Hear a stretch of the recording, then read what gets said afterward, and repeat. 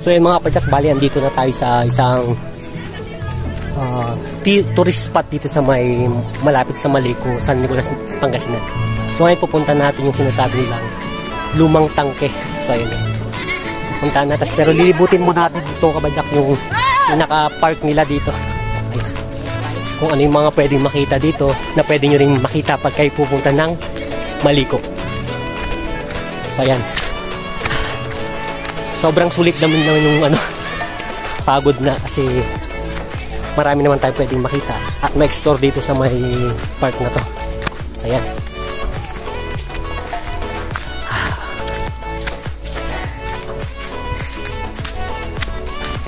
Ibutin muna natin yung ano, park.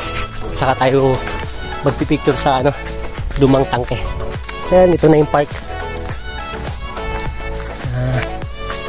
May isang unggoy. Ay, unggoy. May isang kabayo. Ayan. Tapos, punong-puno siya ng pine tree. Ayan.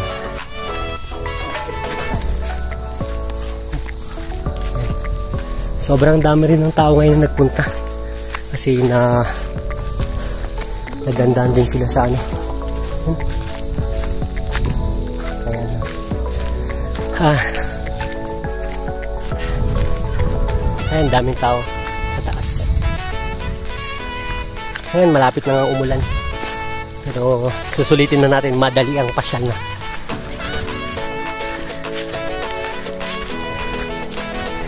Kasi pag hindi na natin sinulit, uh, ano, ngayon lang ulit tayo pupunta dito so hindi na masusundan kasi balik to balik na sa dati back to normal na naman. Balik na naman tayo na Maynila. So ayan. Ah, talagang hingal na hingal pa rin ako. Ah, sulitin na natin. Ah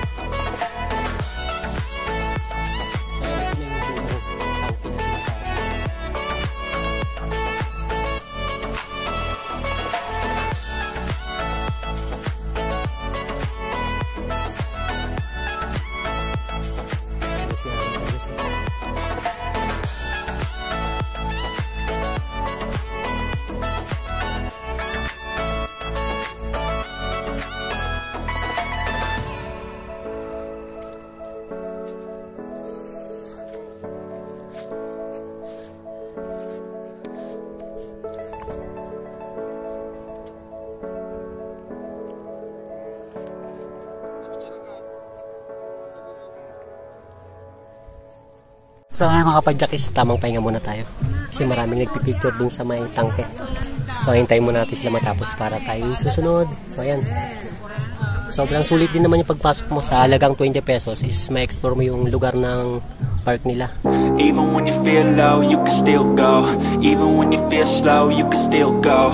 Even when there's no hope, you can still go. I never answer to no, man, I still go, go, go,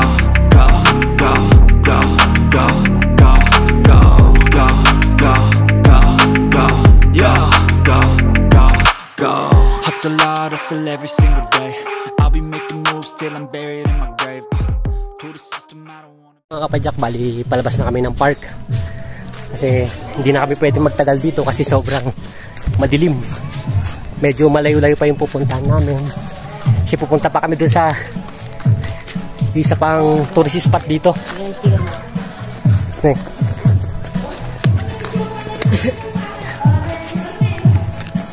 Wala kami isa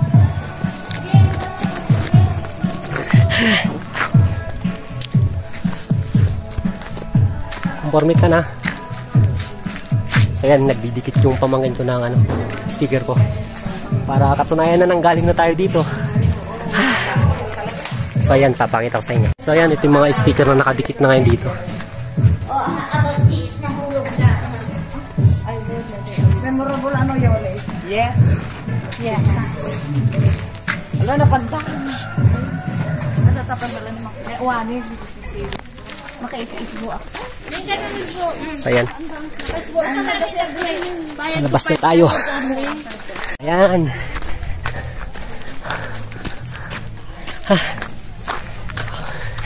Nakakapagod pero kailangan nating tapusin to. A few moments later. Ayan mga kapadyak, bali andito na tayo sa Maliko Viewpoint dito sa may San Nicolas Pangasinan to or ay Nueva Vizcaya na pala ito mga kapadyak.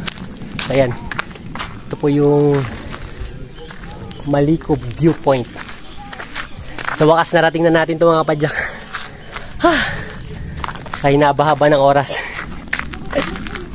Kahit pa paano natapos natin to. So ayan po yung Maliko Viewpoint.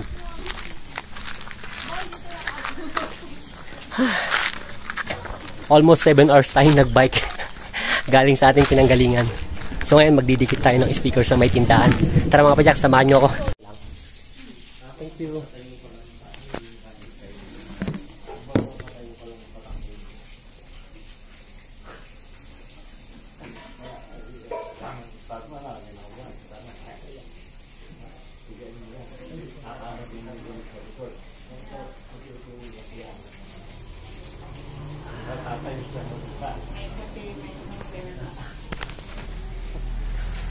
So yan, daming sticker dito.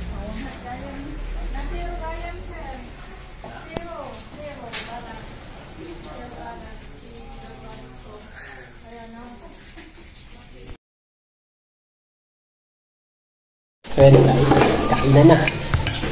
Na salo, taas na ang maliko view.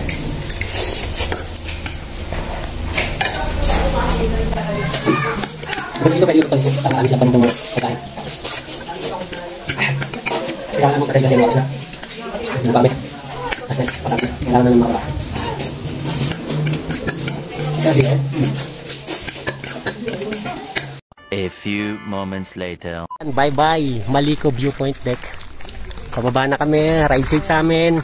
So ayan mga kapadyak, bali hindi na kami magtatagal dito sa Maliko View Deck kasi kita nyo naman, ang taas na ng pag. Saka medyo ah, anong oras na po? Alas 3 pasado na. Kaya kailangan na namin makababa kasi baka abutan kami ng dilim dito. Eh wala namang ganong ilaw po dito sa may daan papuntang Maliko. Kaya kailangan na namin makauwi. So ride safe sa amin mga kapadyak sana po. Makauwi kami ligtas.